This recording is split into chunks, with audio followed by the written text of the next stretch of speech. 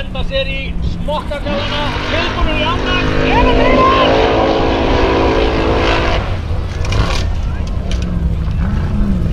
Það er þetta að fara, vinnur.